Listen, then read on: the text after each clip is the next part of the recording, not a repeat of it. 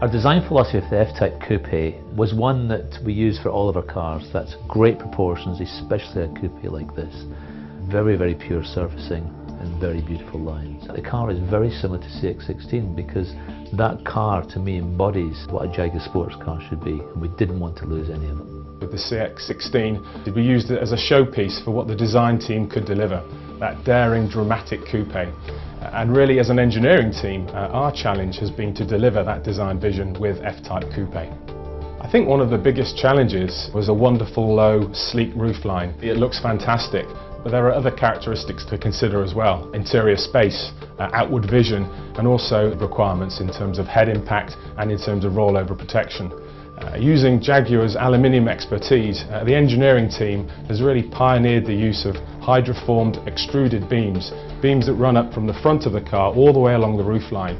So it's the use of this technology to deliver the design vision, but at the same time meet the customer needs and all future legislative requirements.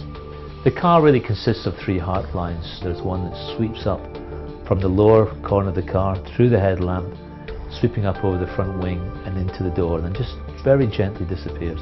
The second line then picks up just above that, just over the, the edge of the door and then sweeps down into the rear of the car in a very relaxed but very powerful form. And those two lines really give the car its standing on the road. The third line is the roof line, the way the roof sweeps up and then down towards the rear of the car in a very, very dramatic way. Those three lines together really create the essence of the car shape.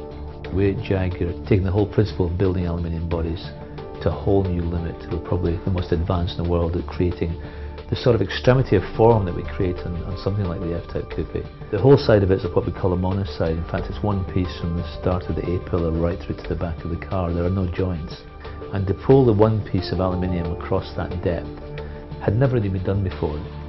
One of the big challenges for, for our team in, in Body was really to deliver those three heart lines that Ian talks about and at the same time deliver a very strong, very stiff, very safe body shell using innovative techniques like a hydroform beam in the cant rail which means that we can have a pillarless coupe profile but a very very strong upper structure.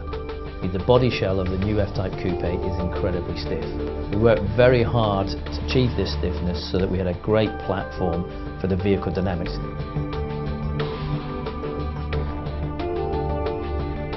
It's the ultimate statement of a sports car, it's the ultimate statement of a Jaguar. And if you think of Jaguar's history of design and power and performance, this car says it all. In the shape, its assertiveness, and of course the way it drives.